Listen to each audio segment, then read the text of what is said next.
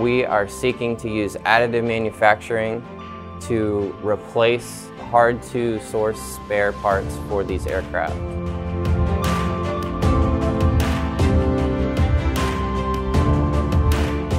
MAMLS is an America Makes program that is specifically designed to use additive and advanced manufacturing technologies to sustain aging aircraft for the Air Force. Our engineers will uh, go out into the field at the Air Logistics Center where the planes are being repaired.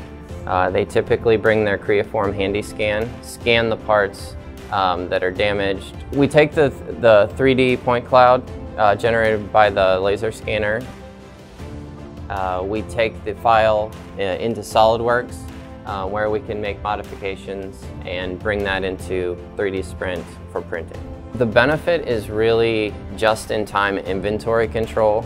Having your parts when you need them is perfect for aerospace sustainment. The Figure 4 will enable high tolerance parts at a speed that we have not seen before, that are repeatable and scalable.